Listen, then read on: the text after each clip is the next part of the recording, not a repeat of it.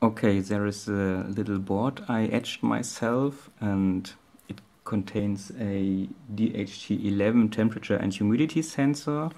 There's also a microcontroller which is a ATmega 328 and here is the uh, Wi-Fi module. It's uh, it's a ESP8266 Mm, the whole board is powered from a lithium ion uh, battery. And mm, the temperature and humidity data is uh, read from the controller and sent to my uh, sent via my Wi-Fi um, to a Raspberry Pi board which is over there and on the Raspberry Pi there is a database server and a web server running. Mm. and so you can read out the data with any network device from the web.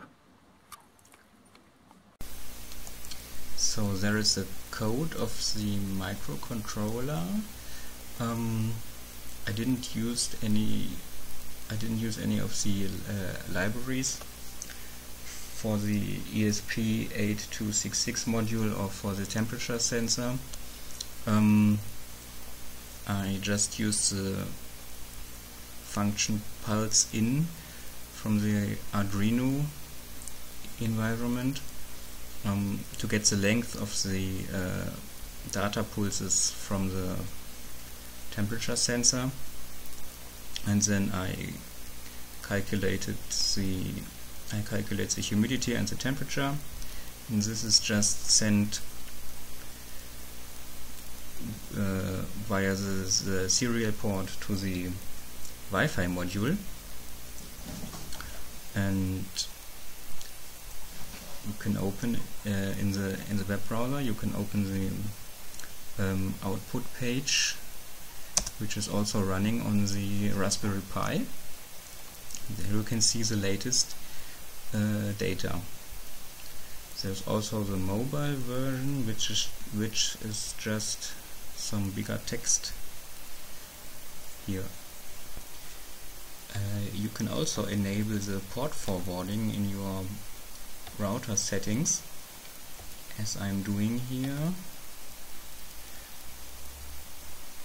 and with this done and having a dynamic DNS account um, you can route to your local web server via the internet so via everywhere